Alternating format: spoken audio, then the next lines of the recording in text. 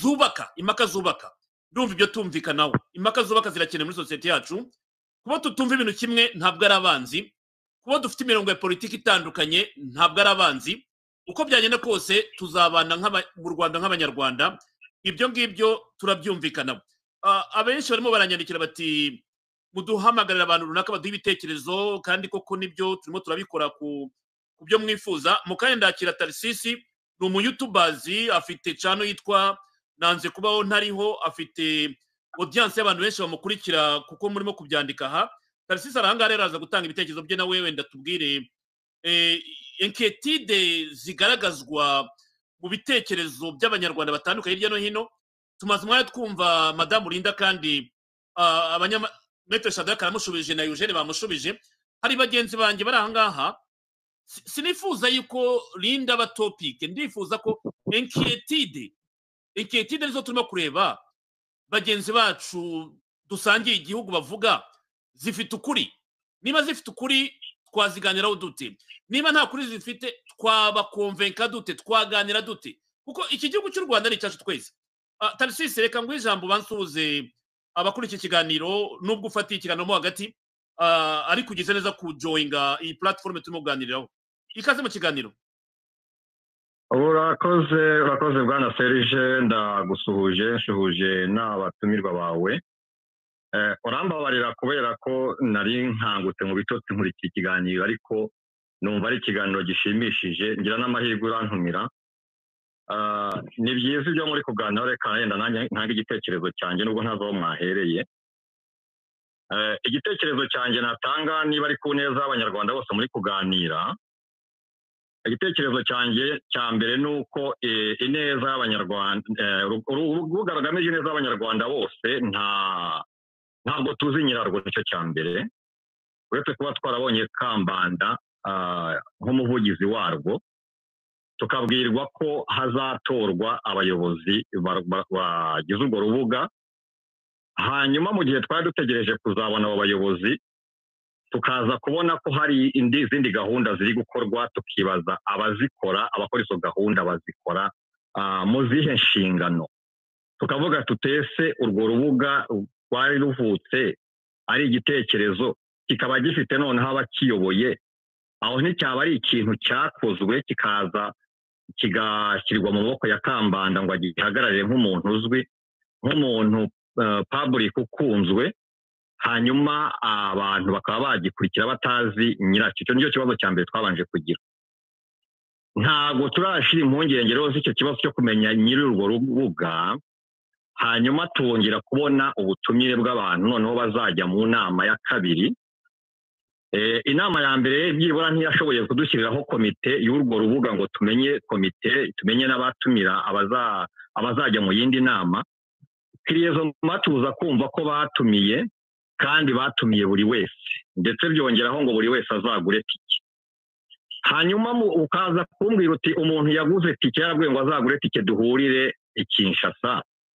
Hanyuma akaza kuza kuvuga ko nanone hazaba tiriyaje y'abantu bazagenda nk'umuntu waguze tike ye akazasanga atarimo abo bazagenda itike yazayisubizwa. Icyo ni ikibazo kindi. Noneho tukongera tukavuga tuti ese umuntu wazanye urubuga rw'ineza y'abanyarwanda ko twabonye ko abashoboye kurwitabira bwa mbere hajemo ba bantu nk'uko rinda bivugaga hajemo ba bantu abantu babona bakikanga Ah, uretse ko yenda hari bishoboka ko eh, abahutu batemerewe guhahamuka. Ariko hari nk'umuntu ushobora kwereka abantu ba- ba- ba- bagaragara muri urwo rubuga ukaba wakwitura hasi ugahahamuka. Nubwo bavuga ko wenda batatwemereye guhahamuka. Dukurikije ibyo twahuye na byo nk'uko rinda yabivuze ibyo yahuye na byo mu ishyamba aho yaciye abamugendagaho eh, ubwo ngenda rinda we yanze no kuvuga ngewe ndavuga amazina. Ndavuga amazina ndavuga nka ambasaderi Eugene Gasana. Wari uhagarariye nasiyo zine. Ibyemezo byafatwaga eh, yari ahari ahagarariye leta y'u rwanda. Eh, ba- bafata ibyemezo byo kujya kwica impunzi.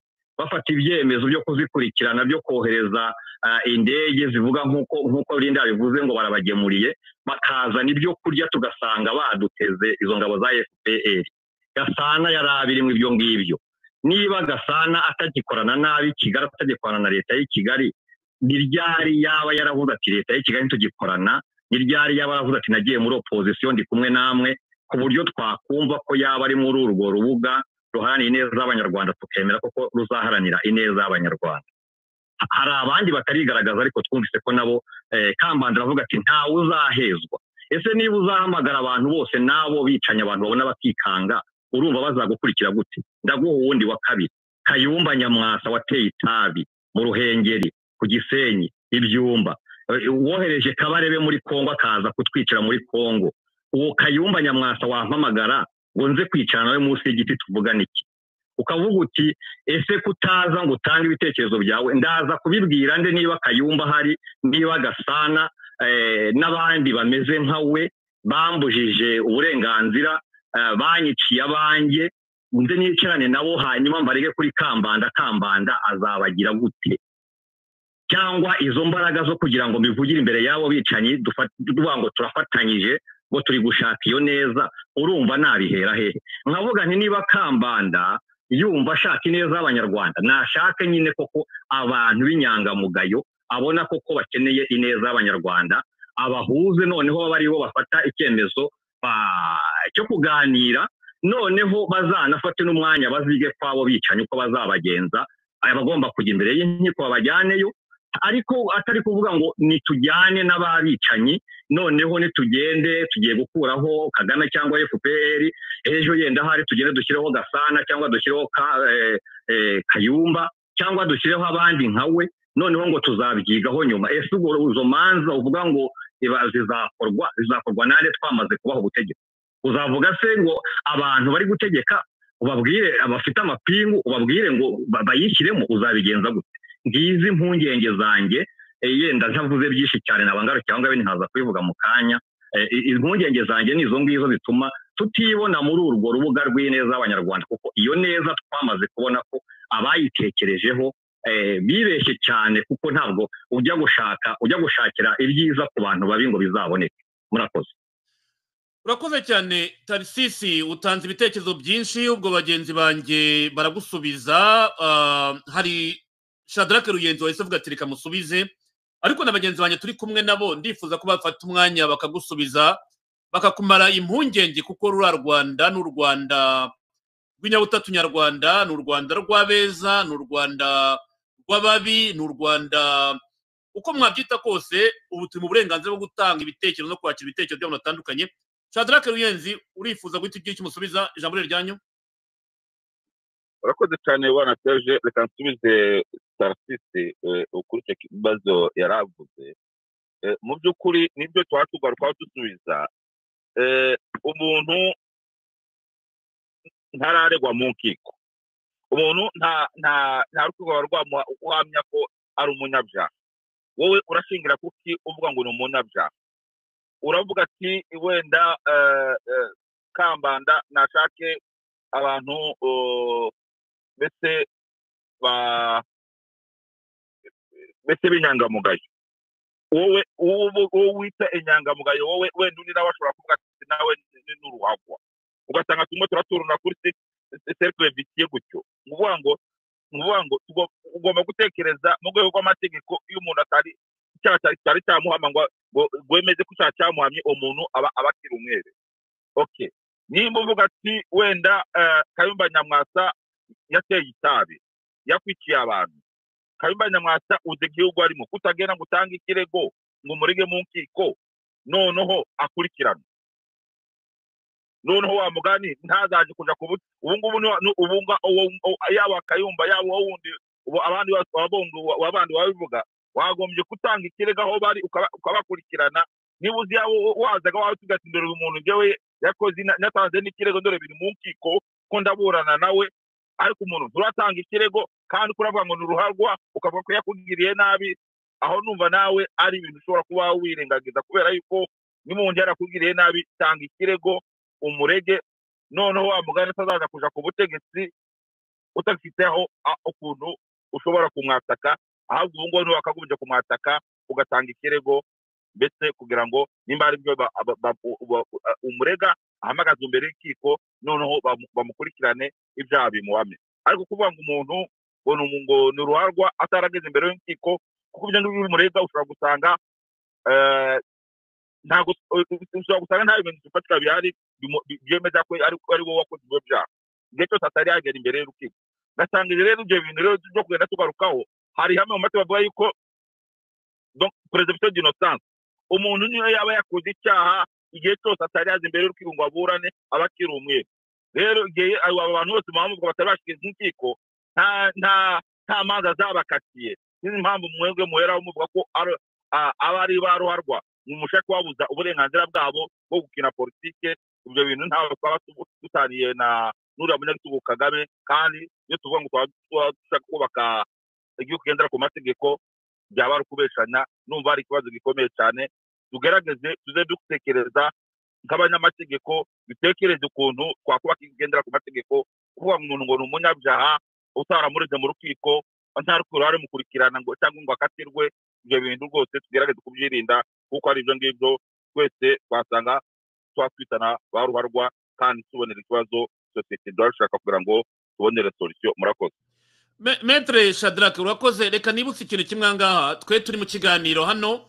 Turimo turakira ibitekerezo by'abantu librantene uko mubibona ku ngingo zaranze iki cyumweru iyi ngingo nk'uko nabibabwiye niyo ikomeje kudomina topic z'ibiganiro tuganira. Ah, ubwo ni abarimo kwinjira mu kiganiro batazi aho twahereye ntabwo twe turi abavugizi b'urugaga ibyo byumvikane. Turimo turasangira ibitekerezo bitambuka ku maradiyo bitambuka kuri social media Ah, ndumva subject turimo murimo kuyumva ariko ntabwo turi abavugizi b'urugaga nta nubwo twabasubiriza ah, kuko ntabwo iyo gahunda tuyifite imbere yacu kandi ntabwo biri muri mandate zacu twe turas- turasharinga turasangira ibitekerezo bivugwa byandikwa biri ku mihanda hano hakurya nk'uko bikoreshwa uh, muri izi mbuga nkoranyambaga dukora tunaganira nk'abanyarwanda. Ntabwo hano pozisiyo yanjye cyangwa y'abo turi kumwe i- i- irepresenta urugaga ibyo byumvikane ko nabonaga abantu bavuga bati ese muri abavugizi b'urugaga? No. Twe turi mu kiganiro cya radiyo tuvuga ku ngingo ya kuri zimwe mu ngingo zaranze iki cyumweru niyo ho turi rero. Bagenzi banjye turi kumwe zaviyo bisamaza um, bwana serije bwana serije umbabarire mpe gatoya umunota umwe. Oya rwose fata umwanya uhagije ntabwo ari umunota kuko turi kumwe mu kiganiro. Na- nari nagize ngo muri kuganira byibura harimo abo muri urwo rubuga. Eh, ubwo rero ndumva bintunguye ko uwo muntu uri kunsubiza atari muri urwo rubuga akaba ari gusubiza mu mwanya w'urwo rubuga kandi arirwo nabajije. Ubwo rero ndagira ngo ngire reaction ku byo ashubije. Iyo avuga ngo ntabwo twareze ngo ntabwo nareze kayumba nyamwasa cyangwa uwo gasana cyangwa n'abandi navuze niba nta rukiko ruhari rwo kubaregamo ese ashaka kwemeza ko nta birego byatanzwe ntibyakirwe. Niba abo bantu bafite eh, aba- ababakingiye kugira ngo badakurikiranwa eh, nkaba nta hantu ushobora kubarega. Niwe wenyine ugomba eh, kubabona ko ari abere njye singomba kubabona ibyo bankoreye we barabagira abere. Noneho agashaka iyo neza yanjye akayishakira imbere y'abantu bangi- bangiriye nabi nicaranye nabo. Abangiriye nabi nibo bagomba kungirira neza noneho arumva ibyo bintu bishoboka. Arsisi uh, turaza kugarukaho ugumaho ntabwo ari ukuvuga ngo turarangije turacyari kumwe mu kiganiro. Hari bagenzi banjye bisamaza zaviyo darira hari n'abandi bashaka kwinjira mu kiganiro. Hari umva afite komanteri kugira ngo dukomeze mu kiganiro. Ntitwiharire ijambo twenyine kandi turi mu kiganiro turi abantu batandukanye. Hari ufite igitekerezo? Zaviyo nanjye numva hari icyo nashaka kugira icyo mvuga. Mm. Ah, sinzi niba dusamaza ari we washaka gutangira wenda yatangira nkaza kumukurikira cyangwa yamuha umwanya wenda. Ok reka ntangire ntabwo ntinda. Impungenge ziri aha ngaha hanze bwana serge zirumvikana kubera ko umunyarwanda aho ari hose byaba mu bwoko aturukamo yarashenguwe ashengurwa n'ubutegetsi bwo mu rwanda. Ariko nanone iyo witegereje aba bantu babaza ibibazo nk'ibi mu by'ukuri ku- kuri jyewe ntabwo bareba aho ineza yaturuka. Nk'ubu tarisisi ushobora kumubwira ko jye nabaye mu rwanda aho niboneye aho abantu biciwe muri jenoside bajya gusaba abageni Nk- nkunda no kubibona hano ku ma yutube ubworoherane buzava he? Ngwino wicarane n'abo bagabo unenga ntabwo uhejwe niko seje yavuze n'abandi bose batekereza nkawe. Wicare hariya muganire ibitekerezo kuko baravuga ngo dishopu de zide jayira lumiere umukubita igitekerezo nawe agukubita igitekerezo. Umubwira ndabizi warishe ati ndabyemera ati reka dutekereze uburyo twubaka igihugu kizashyiraho inkiko. Noneho nimurangiza mu- mu- mutuburanishe. Kivuga uriya wavuze wenda nanjye ndimo cyangwa nawe ushinja nawe ushinja abandi nawe urimo. Mureke ese tuzageza ryari dusubiza inyuma ibitekerezo uko inisiyative ije. Yegere uyumve dabord. Uyumve. Noneho bakwangire kuyijyamo twese tubimenye ko hari nk'umuntu ubajije ikibazo cyiza hariya aravuze ati n'uwitwa jean jean jean rubomboka. Aravuze ati nk'iya platform nta muntu uhagarariye impunzi zabaye mu mashyamba ya kongo nahise mwandikira ni utanze igitekerezo cyiza cyane. We aravuga ati nibashyiremo abandi bantu bumva ikibazo abanyarwanda bafite noneho tujye mbere. Wose uzagenda utunga urutoki umuntu utunga hanyuma se amaherezo azaba kuba umutunga rumwe nawe enye zikakugarukira murakoze serge isamaza ura- urakoze ni byo eh, ikiganiro nk'uko tubivuga uru urubuga rw'uko abantu biyexprima nta gitekerezo na kimwe gisubizwa inyuma kandi ibi bintu ndakeka ari umuti kuko niba tutanaganira ntituzamenya n'umuti w'abanyarwanda uko ushobora kuboneka. Zavyo wafata ijambo nyuma ya bisamaza? Ah, urakoze ah, bwana serije je rero mu baba maze kuvuga yaba ah, niba ari narisisi cyangwa tarisisi na n'uriya mubyeyi nawe wavuze mu kanya kashize mbere abo bose ndabemera. Kandi ndabumva cyane. Ariko icyo nshaka kubabwira ni kimwe. Ibi byose barimo bavuga eh, bavugamo abo bantu bose b'abanyabyaha bakoze ibyaha babarega bakaba bari muri ah, uru rugaga barabonetse muri ayo mafoto bakaba babanenga ibyo babanenga burya iyo niyo niwo mutego cyangwa se ni cyo kintu cya kaga uriya eh, mudikitatire akunda ashaka. Nabivuzeho mbere mu- byo navuze mbese ni- ni cyo kintu yakoze kandi yakigezeho. Cyo gukoresha abo ashobora bose.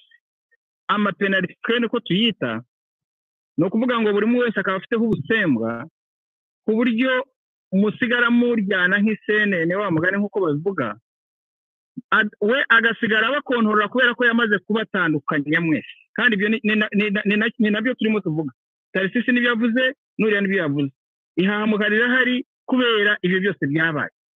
Ni ukuvuga ngo isamaza nk'uko yabivuze nawe ni ni umwe mu- mu- mu- mu ba- mu bacikacumu n'abandi bamwe ba- barimo aha ngaha twese dufite eh, nuza ibikomere bya biriya bibazo byabaye hariya. Rero ikibazo gihari ni ikihe? Ni ukuvuga ngo muri iki gihe turimo aha ngaha buri muntu wese ibyo abona kuri uwo ari we wese yaba afite navuga ko ari iby'ibyaha amubonaho ahubwo iki ni cyo gihe cyiza cyagombye kuba ari oporutunite yo kugira ngo duhure genda avuga nkanjye ntabwo mu by'ukuri ndi muri ayo mafoto. Ntabwo ayo mafoto nigeze nyagaragaramo sinyarimo kandi nta nubwo ndi umuvugirizi wa dogiteri kambanda cyangwa se n'ikipe ye oya. Ariko genda bivuga nanjye nk'uwakiriye iyo ini- initiative neza kubera impamvu. Impamvu ya mbere kugira ngo uriya mwicanyi wakoze ibyo byose mvuga ari nawe akoresheje abo ngabo amapenaliti nabo mvuga. Hari n'abandi bize abana b'abanyarwanda bize kandi ababyeyi bakabashyira mu mashuri meza kugira ngo bige bazagire icyo bagezaho imiryango yabo. None aha ngaha aragenda akabaroba akabashuka bakabajyana bakabinjizamo hariya nk'uwitwa evode mu mbabare n'imvuga amazina agewe nta kibazo rwose. Njya mvuga aba umuntu mwarimu ufite mukabona aragiye yari umuntu mutekereza. Akaba amujanditsemo uwo nguwo akaba amukoresheje amapenaliti agiye maraso.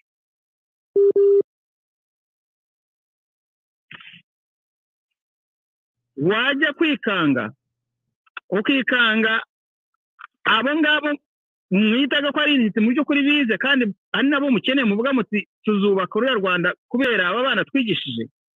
Nabo bose bijanditse muri ibyo bintu kubera ko uriya mwicanyi n'ibyo bintu ashaka. Iki ni cyo gihe rero. Dukwiriye gushyira ubwenge ku gihe. Yaba tarisisi yaba n'undi. Uwo ari we wese.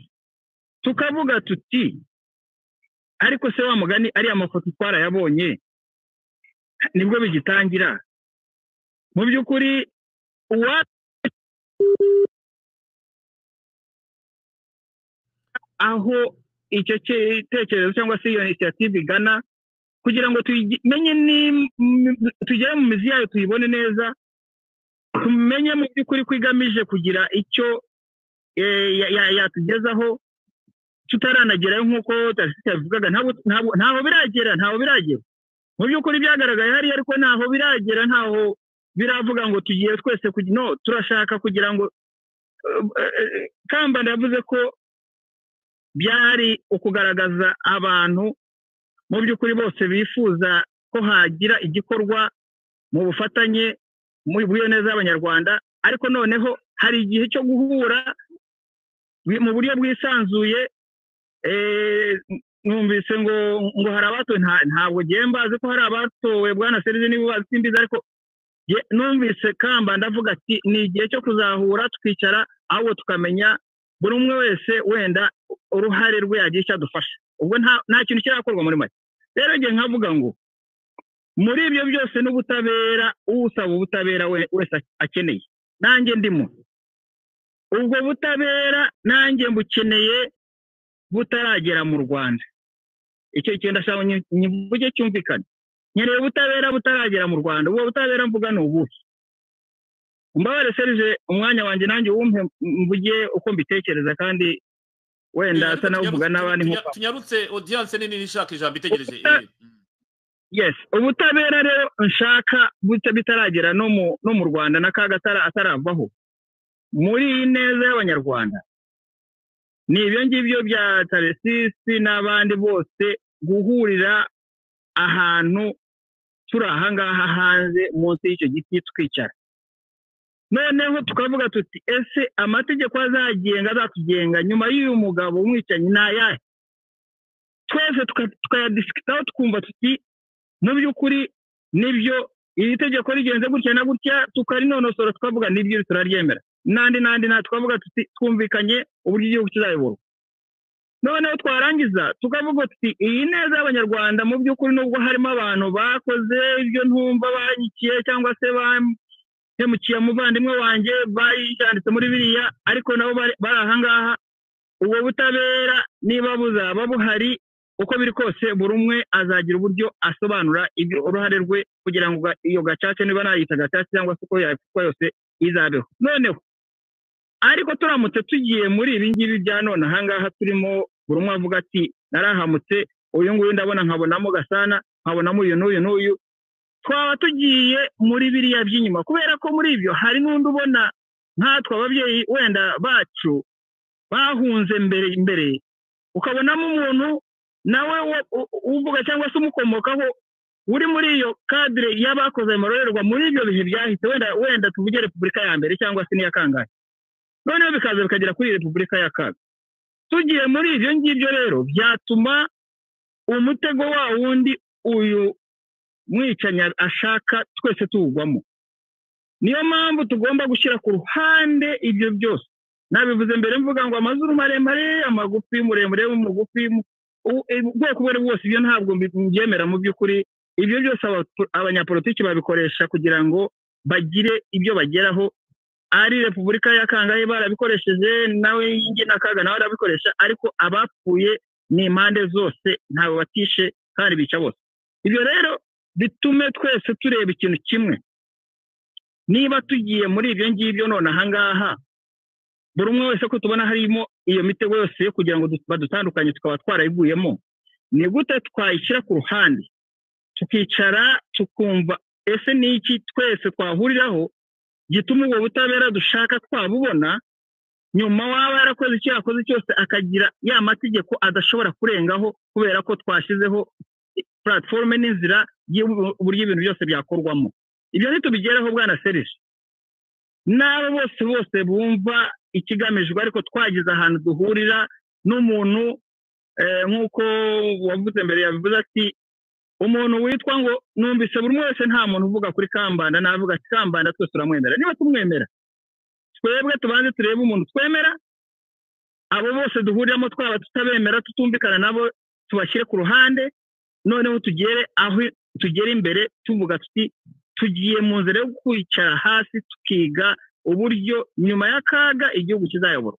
Ibyo ni byo numva twashyira imbere naho ibindi tutangiye none ahangaha byaba ari premature niko navuga kubera ko ntabwo twesasayizinga ibyo twebwe dushaka nuko igihugu cyayoborwa kubera ko ntabwo turagera aho dukeneye kugera. Naba mpagarariye